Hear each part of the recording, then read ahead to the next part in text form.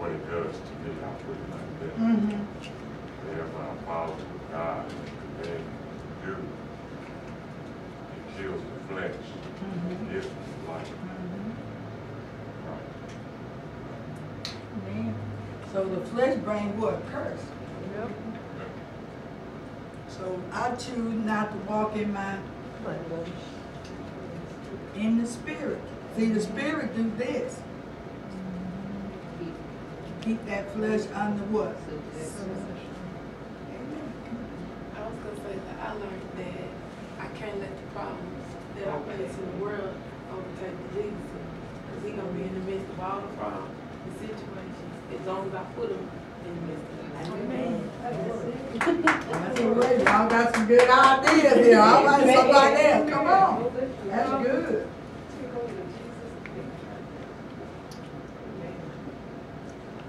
Just be led before you make a decision. Like you said, don't make quick decisions. Be led, pray about stuff. Don't just jump into stuff. That's right. Don't jump till you pray. Mm-hmm. But admit, like he said, the commandment, keep his commandments. Because Jesus never moved until the Father gave him Instruction. commandments. I think one other thing I've learned is that the reason Jesus said keep the commandments, they have nothing to do with the law that we are not under. Mm-mm. Law is a curse. Yep. That's a curse. Yep, yep. That's a curse to physical death and spiritual death. So just talking about sin, the commandments that God gave, gave them to a big thing. Yeah, law, it, uh, in the, in the Old Testament, they was under the law. Right. And the law was sin. Well, it was under the law, mentioned three different things, commandments, statutes, judgment. Those statutes are the law, that's what we're talking about here. But the commandments of God never change, even to today. Because it was Jesus that was talking. But First of all, everything, that- whatever it is that God spoke, that was Jesus talking, he did the word of God. Yep. And he said, keep the commandments. It's the same God telling us that, keep the commandments. The same God that wants us to do Right, that. keep my words. That statute, which is the law, we're not under that, that's the curse. No, we not under the law. We under grace. We under grace, Yeah. Keep his commandments, that means keep his ways. And he is the way, the truth, and the life. And that's why he says, speak my words. And he is the word. So when you speak his word, that comes right back to Jesus. Because Jesus is the word. And that's our liberty through Jesus, through the word. That's good.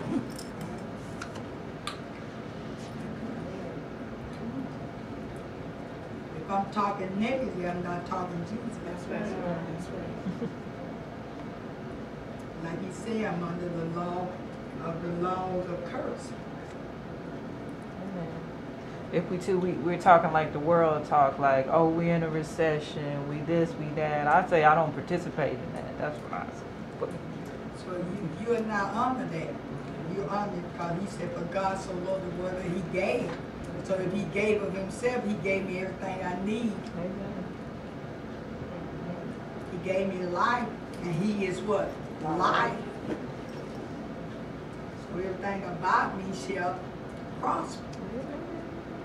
He said, I come to give life and life more. Not only an abundant life, but abundant of everything I need in life to, to sustain me while I'm here in this earth realm. Amen. See? See life, not death. Keep the commandments of his way. Long Jesus was on the earth, he never saw death, he saw life. Because he was life. Amen. If we grab that, we're gonna live. I'm telling you, I'm grabbing it. And he's living on the inside. Yeah. Because he said, greater is he that's in us than he that is in the world. Right. When the enemy comes to kill, steal, and destroy, but he said he come to give us life. Yeah.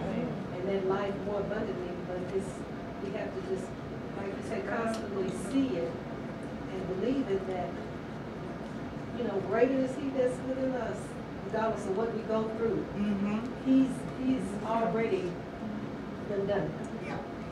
It's already finished. We already, you know, where he purposed us to be. We just gotta take this flesh up with it. out of the way and walk and live and talk in the spirit instead of the flesh. Be led by the spirit. Be led by the Spirit, that means he's in the full control of his life, his life, within us. Mhm. not you, his life. Does that make sense? He wanna live his life through you, not you live your life. You don't have a life. Your life is in him. So if I'm living, he said, let your light shine. He said, let it shine. Me, let me shine. Let me shine. That's what he's saying. It ain't about you. You ain't got to say that. Sometimes you can get walk in a place and people can tell the difference between you and them people out there. That's true. Uh-huh. It's something about a light, about him. He gonna either stick one finger up, do like that. Some, some, somebody gonna see different than you than they do somebody else. That's him. Because we belong to him and we aren't. You have his character.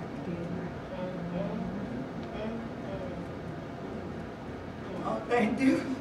We don't see ourselves as he's telling us that we are. You. He done told you Who you are. all. Right. It's not believe You got to believe. you. We are, we don't believe that we have these characters, but we do.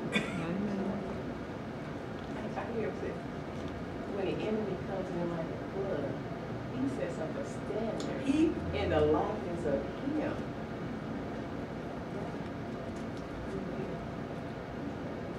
so you gonna have, you gonna have a character. It's his character. Yes, his character. Because you look at Jesus, he was always saying it wasn't him that did the work, it was his father that did the work. And that's where it is with us. It's not us doing the work, it's him doing the work.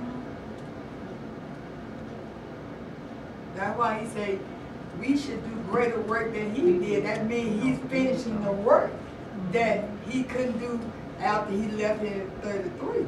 But he's mm-hmm. doing the greater work now, do us, like he said, doing the gospel. Go into all the world and preach the gospel.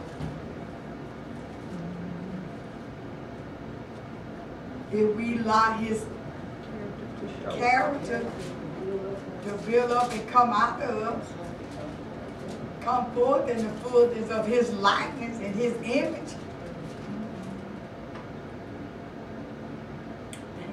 So sometimes we have to go through, like she said, they'll put more, the more they put those in, the more the flesh is dying, and his character is coming. Out. The lesson coming forth. Amen. See? Thank God for the care of God. Amen. Anybody else? He good tonight. Thank God. So we, I'm praying for my character. Amen. That I got more out of myself. Yes, Lord. So I come more out of me. The character makes you up. God speak Yeah. with his Yes.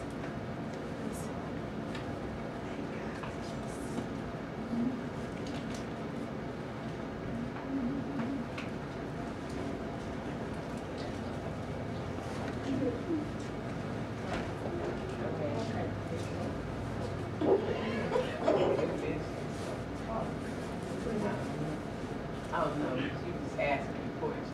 Oh, Father, we thank you right now, Father Spirit. And we give you praise, we give you glory. And Lord, we ask you now to accept the offering as you see fit for the keeping of your kingdom. And Lord, we thank you tonight that you want us to see the choices that we make, God. We can how ba ba ba see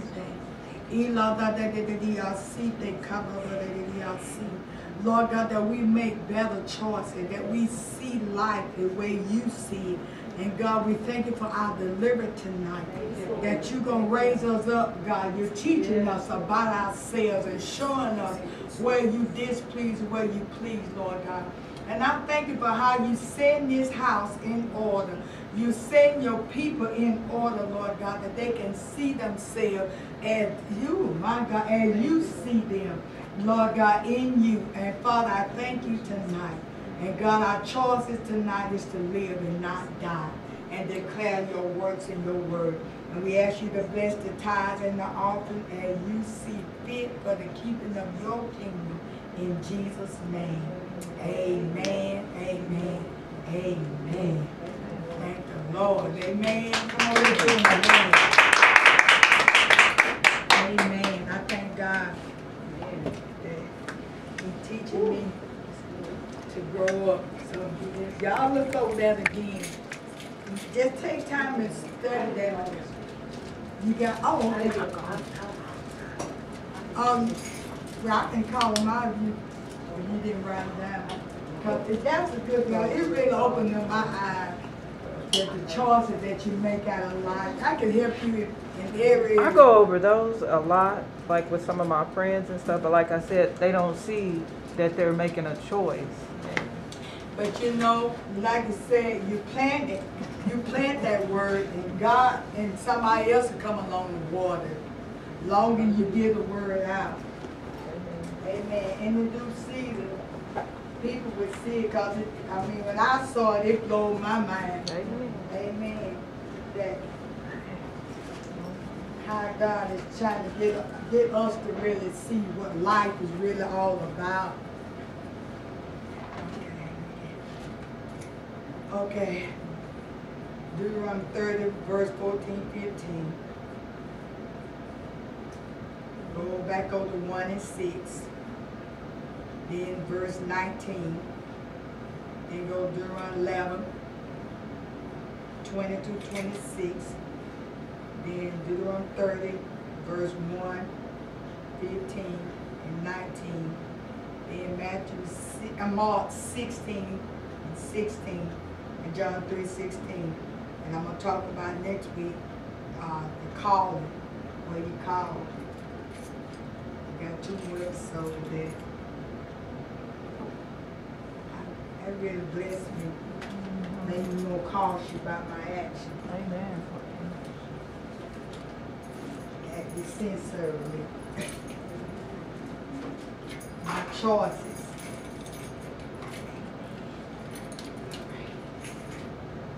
Okay, nothing, nothing else? Everybody got it? Okay. Father, we thank